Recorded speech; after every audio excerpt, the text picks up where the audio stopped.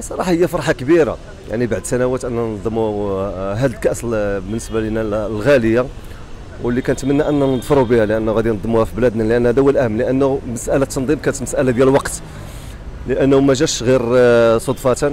فكان هناك آه، خطة واستراتيجيه على مدار سنوات منها آه، يعني انفتاح الانفتاح ديالنا على الدول الإفريقية. عقد عدة شراكات مع دول جنوب الصحراء. وما يخفاش عليك بأنه المنتخبات اللي ما كانتش كتبقى ملاعب فكتلعب في المغرب وشفنا الحفاوه والاستقبال ديال هاد الدول هذو فتنظن بأنه إلا بغيتي تنظم في الكاس فلازم أنك تكون علاقات اللي هي وطيدة. وهذا الشيء اللي حصل لعدة سنوات منذ تولي سير قجع آه على رأس الهرم الجامعة الملكيه المغربية. فصراحه هذا الرجل هذا اللي, اللي, اللي ولا أصبح قوي. يعني في الكاف ماشي يعني قوي بالكفاءة ديالو. يعني بالكلمة ديالو اللي ولات. فتنظن بأنه كيف ما قلت لك كان هناك واحد التخطيط واحد الاستراتيجية اللي دابت عده سنوات. ما نساوش كذلك البنية التحتية.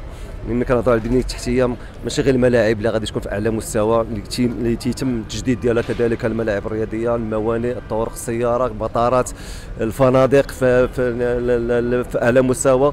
فتنظن بأن هذه كلها كانت غير مسألة ديال الوقت باش أنه يعلن الكاف آه، تنظيم كأس أمم إفريقيا 2025 لفائدة المغرب.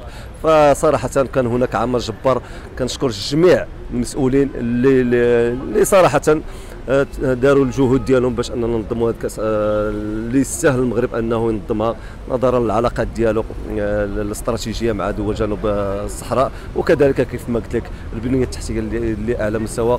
فكان أقل يعني أقل حاجة هو أننا ننظموا هذه الكاس هذه اللي كيستناوها المغاربة ونتمنوا أن إن شاء الله ماشي غير ننظموها ننظموها وكذلك نظفروا بهذه الكاس الغالية.